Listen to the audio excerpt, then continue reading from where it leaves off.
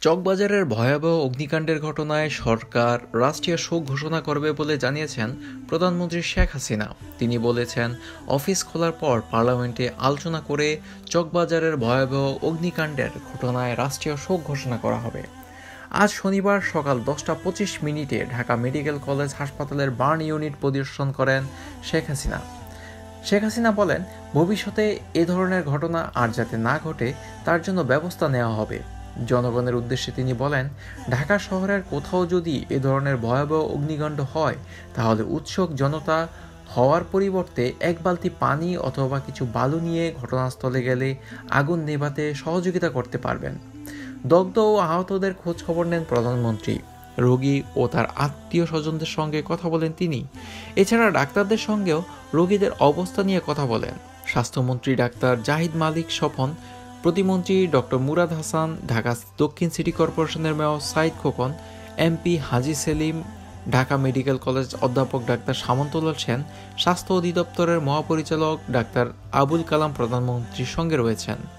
Burn unit পরিদর্শন শেষে প্রধানমন্ত্রী বলেন, national institute of burn and plastic surgery বিভাগে অনেক আধুনিক যন্ত্রপাতি দিয়েছি।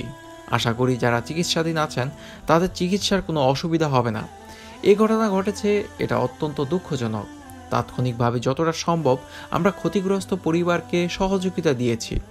তিনি বলেন, ঢাকা শহরে অনেক খাল ও পুকুর ছিল। এগুলো ভরাট করার কারণে যে কোনো স্থানে আগুন লাগলে পানি পাওয়াটাও বড় সংকট হয়ে দাঁড়ায়।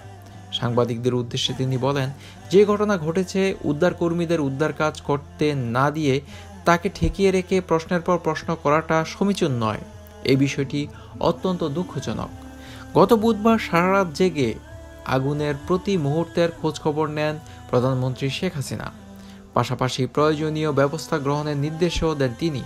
এছাড়া পরবর্তীতে নিহতদের পরিবারকে সহায়তা এবং আহতদের যথাযথ চিকিৎসা দেওয়ার জন্য তিনি নির্দেশ দেন। প্রসঙ্গত, বুধবার রাত পুরনো ঢাকার চকবাজারের চুরিহাট্টায় চৌষট্টি নম্বর ওয়াইড ম্যানশনে ভয়াবহ অগ্নিকাণ্ডের ঘটনা ঘটে। ফায়ার সার্ভিসের সাঁত্রিশটি ইউনিট আগুন নিয়ন্ত্রণে আনে। ওই ঘটনায় শুক্রবার সকাল পর্যন্ত মোট সাতষট্টি জন নিহতের খবর জানা ঢাকা জেলা প্রশাসন। আহত ও দগ্ধ অবস্থায় ঢাকা মেডিকেল কলেজ হাসপাতালে চিকিৎসাধীন একচল্লিশ জন। সবার আগে সর্বশেষ সংবাদ পেতে নিউজ এ টোয়েন্টি ফোর চ্যানেলটি সাবস্ক্রাইব করে বেল আইকনে ক্লিক করে রাখুন। ধন্যবাদ।